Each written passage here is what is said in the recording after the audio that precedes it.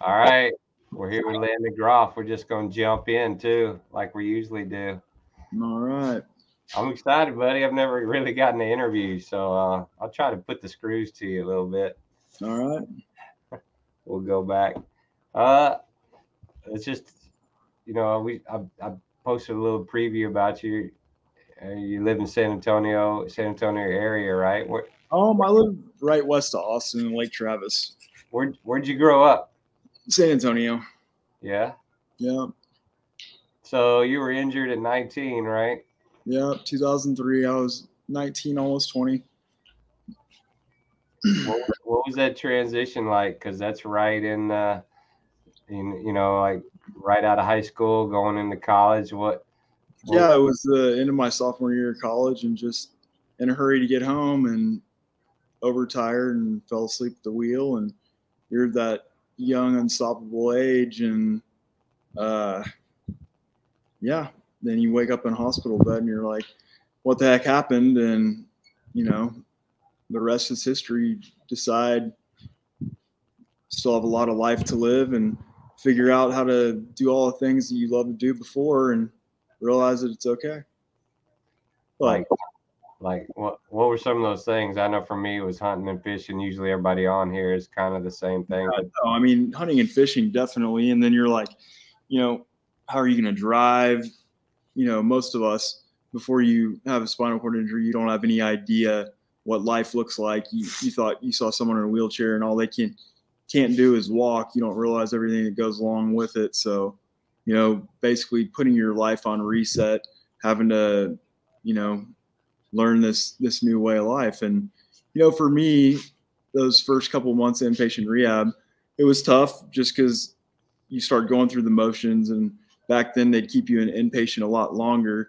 Now a lot of places you go phase one, phase two, come back when you've been home for a little while. But Right. I was there for three and a half months, and it really it wasn't until um, I went with a recreational therapist, and she's like, "You got to come see a rugby practice."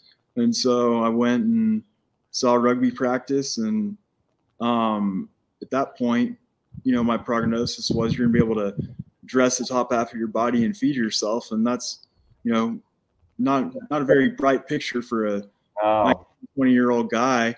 And then so I went to this rugby practice, neck brace and all, and saw all these guys with similar function, less function, more function, doing things that I thought was virtually impossible.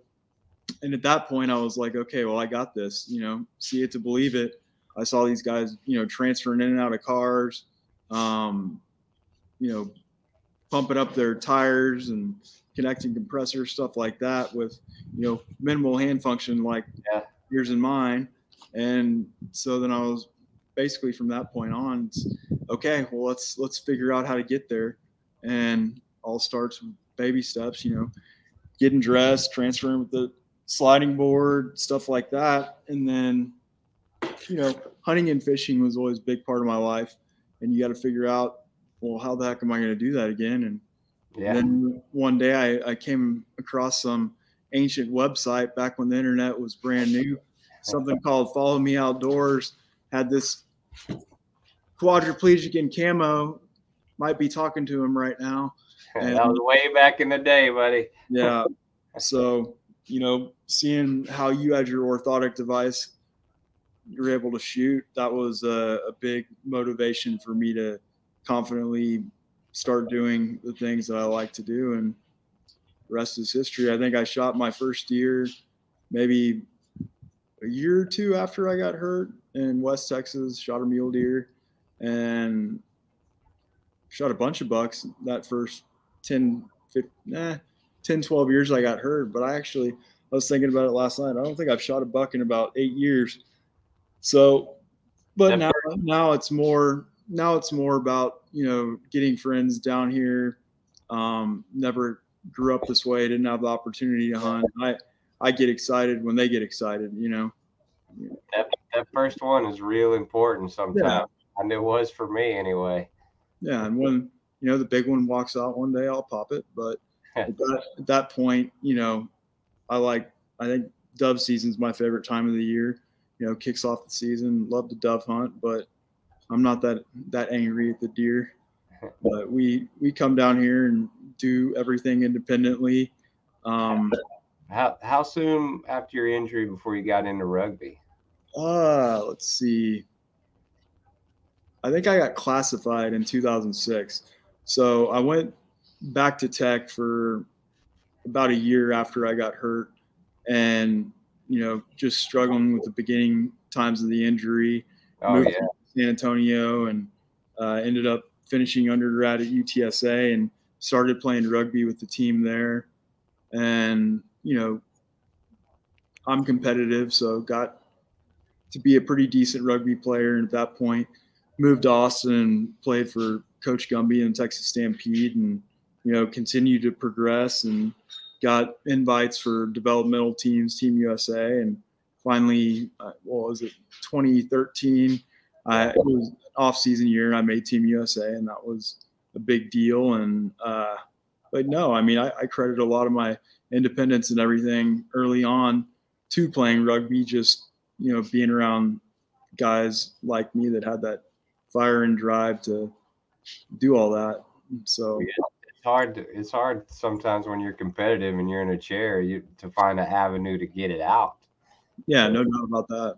Be able to compete on either the playing field or anywhere. For for me, it was kind of like playing poker because that was yeah. that's, that's a real competitive game and where everybody's kind of equal and it's real easy for someone in a chair to play that.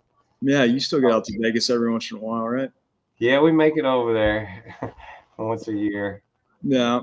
Seems like rugby was a good. I know. I know it helps out a lot of people, but it's a great avenue.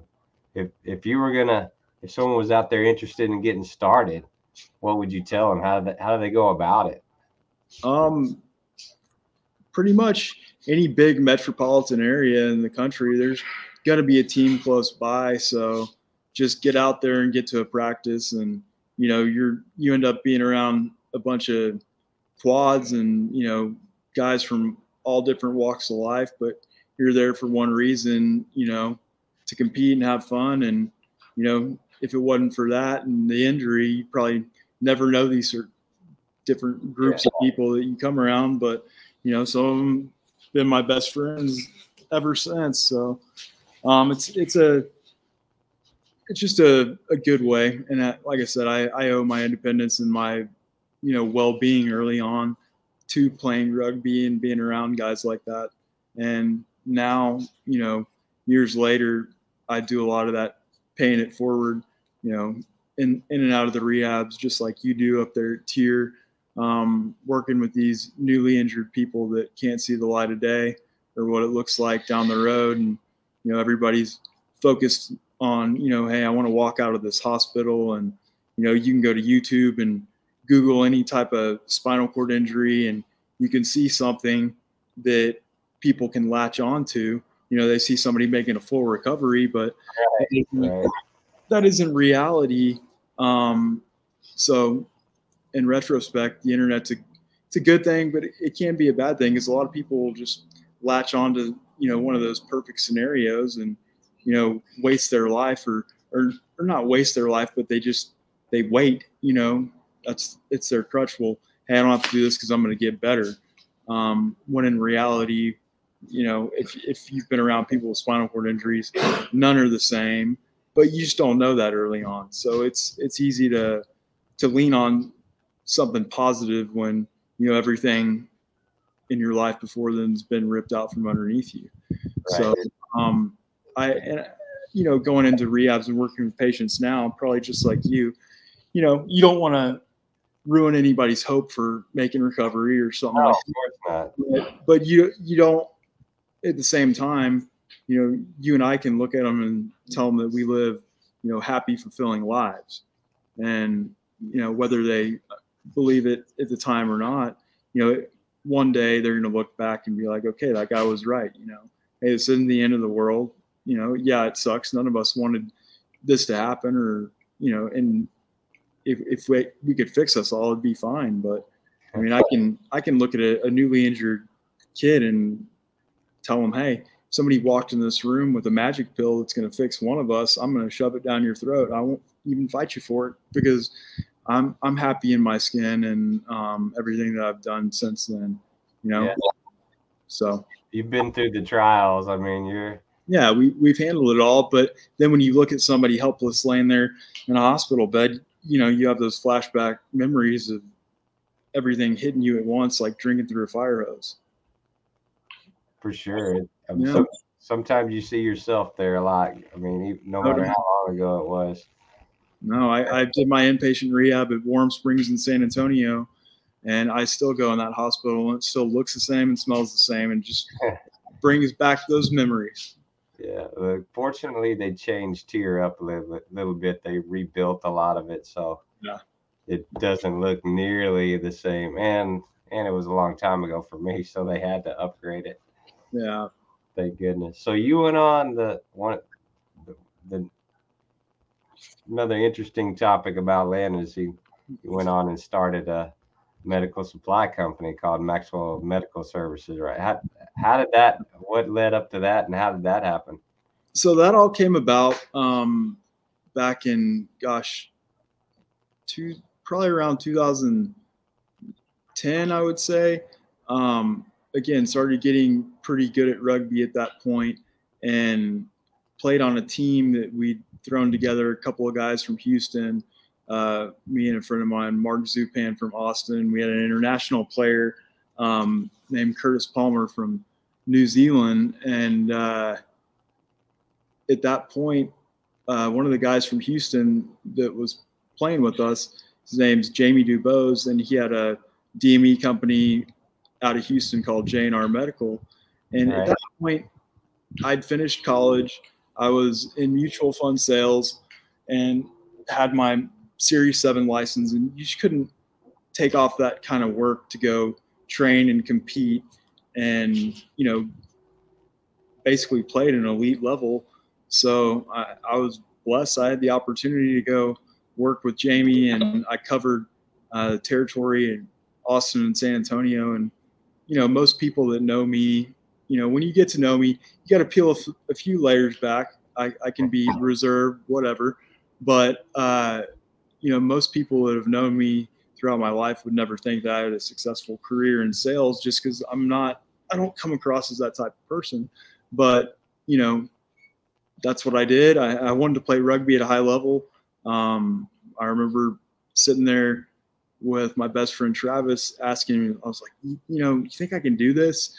And, you know, the, it all made sense and added up. And he's like, hell yeah, you can. So I started working with James and San Antonio and Austin, and you know you're a, a guy in a chair and you're you're competing against very aggressive salespeople, and you know I might have got kicked in the face, and you know you get used to rejection going in and out of doctors' offices, trying to uh, build relationships and and business, and you know I, I just kept at it, and you know before you knew it, I I'd pick up a little here, there, go work in West Texas, you know, back where I went to undergrad at Texas Tech. And it was, you know, the people out there are a lot more friendly. So that built my confidence. And, uh, you know, eventually got pretty good coverage in San Antonio and Austin. And at one point, I might have been the best sales rep in that area.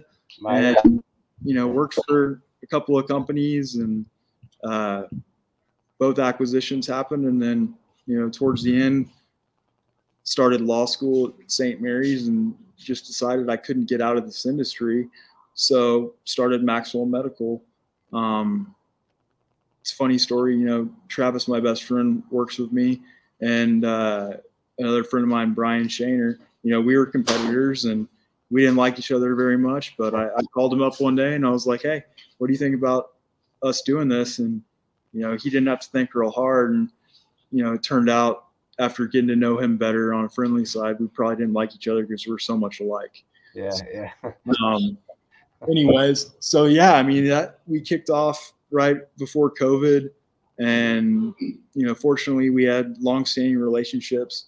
Um, and again, Brian and I, Brian's a, a paraplegic, and I'm a quad, so between him and I, we we cover a lot of spinal cord patients in the state of Texas and do a lot of rehab work. And, uh, you know, if it wasn't for our longstanding relationships, you know, having a new company, it, it'd have been challenging to get through COVID, but, you know, we, we muscled through it and things are good now. And, you know, we're ready to put the pedal to the metal and, and go from there. But, you know, again, at the end of the day, um, we enjoy working with our peers and, you know, they know that for the most part, we're the best people to, to take care of their supply needs because everybody's got our cell phone numbers. If they ever run into an issue, we're the ones to make the decisions. So Right. um, it's it's not like you're you're calling a, a big corporation and, and getting the run around and passed around. You're always going to talk to a live face at our office. Um, we're always going to have employees in the office that are paralyzed that have been cathing for a long time. So that's that's been a big advantage to the way that we do stuff. Is you can call Maxwell Medical any day of the week and speak to somebody who actually uses catheters. And I mean, even more so than the people, uh, you know, the spinal cord injury stuff like that that Brian and I meet in the rehabs. You know, even you know some of the older guys that might be in a urology clinic, the doctor's like, "Oh, you have to stick what where how many times a day?" Well, next thing you know, you got a supply company calling them trying to ship them a catheter order, and you know, in the past, we we've had people who you know are just trying to get an order out. But when you've got a guy on the phone that says, "Hey, I understand this. You know, I've been doing it." You know, Yeah. they end up asking a lot of important questions, and uh, by the end of the call, we're we're probably shipping their order out and keeping them compliant with their health care rather than them clicking the phone saying, "I ain't doing this." You know, so um, it, it's been a it's been a win-win. We've got some good different implementations that uh, didn't necessarily have at uh, other companies I worked for, but for the most part, still the same. But we enjoy what we do. Um, you know, as cathing, as you know, is not a fun thing to do, and it can seem, you know, cumbersome and just a hassle. But really, once you get the right product and you get it figured out and you get it down, it's the best way to take care of your bladder in our situation or you know anybody's situation that's in any kind of urinary retention. So um, we we strive to get them there, and and I don't think anybody would have anything negative to say about the way we do business. Well, I love that that y'all have the experience that you do, like you said, with the cath. That you've been through it all. You know, you know so much that's out there, what's available, what works best, and how to, you know, how to help people. You know, I I like being able to call you up and say, okay, you know, what's going? Can I try this? What, you know, yeah, I like to zero in on what's best for me. Like No doubt. everybody everybody should do. I mean, there's so many options out there. You really have to try stuff to find out what works best for you. Exactly. And once you get it figured out and you get your routine down, um, it, it's not that big of a deal. I, I tell people I can probably go to the restroom and cath, you know, not take much more time than somebody, you know, going to empty their bladder the old fashioned way. Sure. And I, you know what, I, I have different kind of caths for like emergency stake, and different ones for travel sometimes than I do like my everyday run of the mill Yeah. cath. So it's it's good, you know. You, you just don't stick with one thing all the time, and No, no. well, And I mean, since I got hurt, I mean, we used to use plain Jane catheters. You put the lubricant on, and now, I mean, hydrophilic catheters are the main, you know, main deal. They get slicker than snot. And there's not a whole lot of friction, and there, it just takes one step out, you know, as far as putting lubricant on the catheter. But those are the ones, those are the ones I like to have for emergencies. yeah, yeah. So, but there's so many different products out there. Uh, you know, again, cathing's not fun, but we can figure out a way to to make it not so bad. Well, I'm gonna help. You know, I'm gonna help promote you because I'm I'm on board with what y'all are doing, and, and I I know you're helping. I know you're gonna help support Able Outdoors too. So hope, Absolutely. hopefully we can uh hopefully we can carry it forward real far, go all the way together. No doubt. No doubt. Yeah, I've heard Alan was talking about here. I'll put it up on the screen about how people used to boil them and reuse them.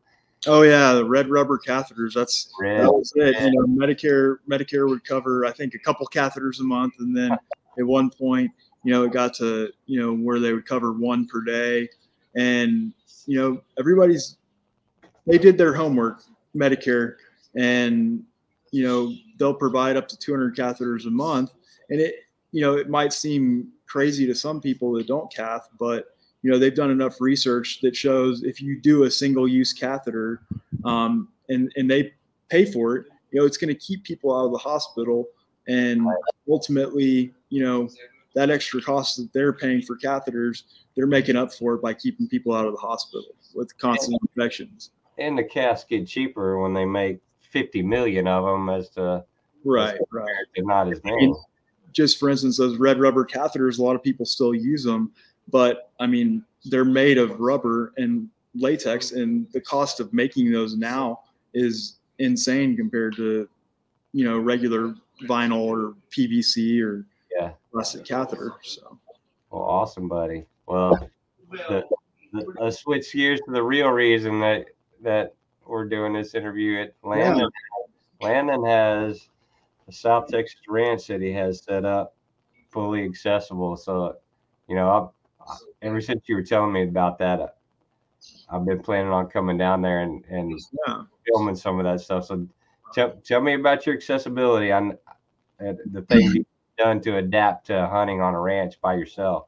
Right. So um, my place is in South Texas, between Eagle Pass and Laredo, um, deep South Texas. If it doesn't, you know, poke you or sting you, it bites you down here. You're way So- down there. Yeah, I mean it's it's the brush country. Um, I've hunted down here most all of my life, and it, there's just a, a mystique about it. Most people would would look at the country and they'd be like, "Why on earth would a deer want to live there?" But down in this Golden Triangle area, you know, there's the forbs here, you know, produce the monsters in Texas.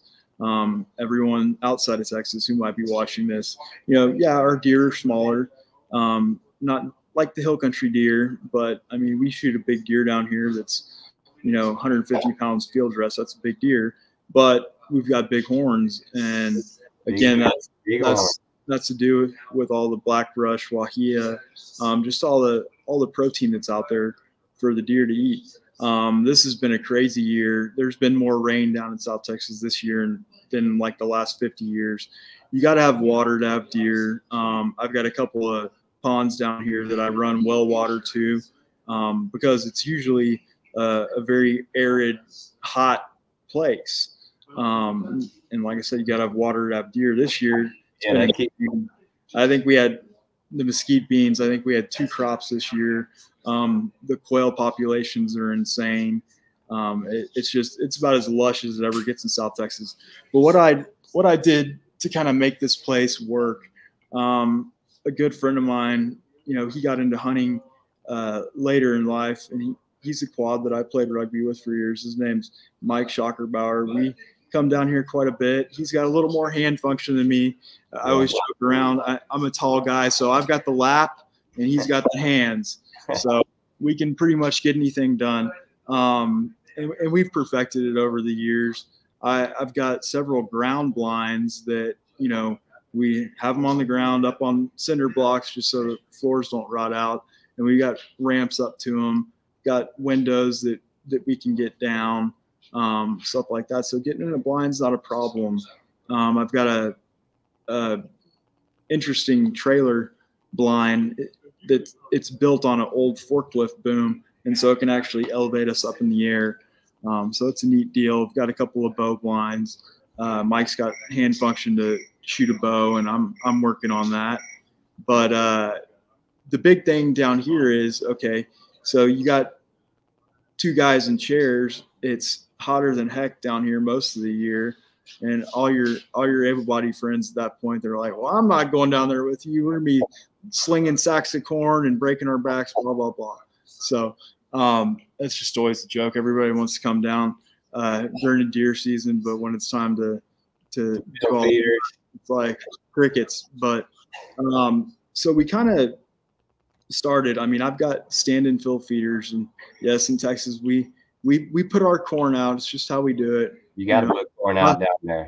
love it or hate it. That's what we do in Texas.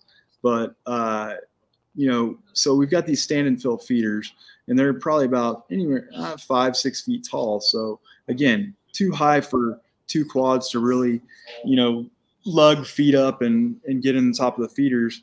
So they've got these blower systems, and you know, we kind of tried to mimic one with a, a steel blower and you know, a 55 gallon barrel where we could have it on a trailer and we could dump fact, sacks of feed into there and blow it up into the feeders. And so we did that for a little while. Um, cottonseed, big thing that we feed down here, you know, during the spring and summer, along with protein. Cottonseed's not not too hard to deal with. We put them in baskets, but you know, we we really got into feeding the protein. At that point, it, it made sense. Bit the bullet and bought a, a feed blower hopper. You know, we drive it seven miles down the road to the feed store and get bulk feed and I pull it with the back of my truck and back it into a feed pen or a feeder, and it's got a big hose on it, and we get the lids off the feeder and get the hose up there, and turn the the motor on for the blower. You know, pull the gate of the hopper, and the feed just it blows right in there. So you know, we've got it we've got it pretty pretty well perfected to where two guys in chairs can get down here and do it. And I mean, I've I've even been down here by myself um, several times doing it on my own. It takes a little bit longer, but you know, at the end of the day, when you're as disabled as we are, and you can come down here and do something like that, it's uh, it's rewarding. It's and, amazing, amazing what two quads can do together, isn't it? Oh yeah, I mean we've we've taken deer and um, we were sitting in the blind this morning. I was telling my uncle, you know, it was on New Year's Eve, and it was a cold morning and I wasn't that angry at him. And Mike went out in the blind and I woke up about 8:30, 8:45, and he wasn't back. And I was like, oh, he must have shot something. And that was the first time that you know two quads we uh, we hauled and dressed a deer out on our own. Might have taken all day, but hey. But now I've I've got a jeep with uh, a boom on the front of it and a winch to where you know we shoot something and lay it down in the sendero. We go scoop it up quick and bring it back to camp and take care of it. So, like I said, we've got it pretty well perfected. Um, here at the camp where I'm sitting, we've got a, a 20 foot and a 40 foot uh, shipping container that are built out in the inside. It, it's not roughing it like I've, I've done, you know, in the past. You know, you, have got ramps up to them, got bunk beds, we've got toilets, water, heat and AC, stuff like that. But um, down here hunting as a kid, everybody used travel trailers, stuff like that. Well, you know, all sorts of bugs, rats get in them, and these uh, these shipping containers are amazing. I mean, they're steel boxes, so uh, yeah, it, it's pretty awesome. You just lock them up, ramp up to them, and go. Uh, I don't know that I would be able to to conveniently like host someone in a power chair. Um, yeah. we'd have to we'd have to tweak some stuff around, but again, uh, if you if you're a quad and you could transfer, um, it's it's pretty pretty easy to do stuff for us down here. Well, I can't wait to get set up. If if it's possible, we're gonna come down there and film a film a weekend where where you're go, coming out as a quad and and yeah. just fight and just filming that whole experience about how you do everything out there solo or or two quad two quads and a deer we'll call it or something like that uh, no anytime you tell me we'll, we'll get down here and do it i'm pretty sure there's not much you might have the only setup like that in the country so yeah no it's it's show people and it's it goes back to you know you think about it early on it's like well how the heck am i ever going to do that again and then with enough uh feedback and just again, I mean, Chad, you're you're the first one that made me realize I could do this. So um, beyond that, it, buddy. Uh, no, I, I, my orthotic device, we we made it way back when, and I still use it to this day, and it allows me to pull the trigger. But no, we've got it, we've got it pretty pretty g'd out, so to speak, for um, people in chairs to come down here. I mean, uh, dove hunting, hog hunting, whatever it may be. Um, we we get after it, but you know it's always nice having the able bodies here. But again, like I said, there's more often than not, it's uh, a few guys in chairs down here by ourselves doing it all. Well, we're gonna, man, we're we're hitting twelve thirty, but I mean, we covered a lot of stuff, man. I appreciate you coming on, and You bet. we're definitely gonna get on again because I want to talk about some of the some of the bigger hunts that you've been on and have planned to go on, and, Yep. and you know, our our I had Landon down for our our teal hunt that we filmed the show on that that we're we're gonna come out with that maybe this week or this Sunday. So I'm gonna. You're- you're- will be back to teal that weekend. uh, you're coming back for that again next year because we're gonna ho- hopefully we'll be hopefully that's gonna be an annual thing because the footage is pretty amazing. No, yeah, and I mean next next season we'll if y'all want to, we'll come down early in the year when we can kind of track the bucks better and you know get a big boy on the ground. That'll be cool. We're de- we're definitely setting that up if it's possible, buddy. I appreciate it, man. All right, Hey, I'm jealous, man. You're gonna be hunting this evening in deep South Texas, I'm, and tomorrow I'm jealous. yeah, hopefully it'll be a little colder tomorrow. I think that front should hit down here. Uh, I can't wait to get down there. It's it's time. So, man, once again, we're we're gonna we're gonna hit you up soon because great interview. Thanks for the support, and uh, we're gonna we're gonna hopefully we can give some back to Maxwell too. You bet, Chad. Lead some people to, to call Landon. He'll take care of everything. That's what I Yep. did. I just Yep. called you up and said and said, get me set up, and you did. Yes, sir. We'll do it. All right, buddy. We'll talk to you soon. All right, take care. Good hunting. We'll see ya.